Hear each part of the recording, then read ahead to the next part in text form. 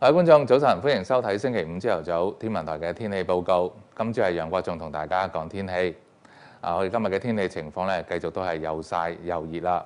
咁喺度提下大家，酷熱天氣警告仍然都係繼續生效。咁如果大家今日需要做一啲戶外工作啦，或者係活動嘅話，記得要準備多少少水，小心中暑啦。嗱，一有唔舒服咧，就要去啲陰涼嘅地方休息一下，或者咧係盡快係揾醫生咯。嗱，六點鐘嘅時候，市區個氣温咧都已經有成三十度啦。咁新界咧普遍都有二十七至到係二十九度。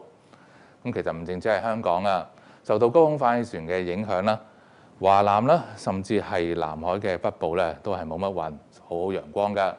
咁所以我哋預計今日咧都會係大致天晴，天氣相當之熱啦。嗱，市區個最高氣温咧會有三十四度，新界咧仲會再高多兩三度添。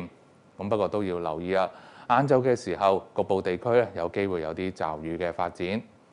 風勢方面咧，整體會吹一啲輕微至到和緩嘅西南風。咁今日除咗話熱之外嘅，亦都係相當之曬。最高紫外線指數係會有十，強度屬於係甚高嘅。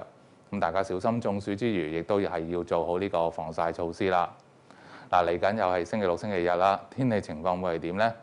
咁我哋預計啊，嚟緊嘅兩三日天氣咧都會係持續酷熱，最高嘅氣温繼續都會有成三十四度嘅。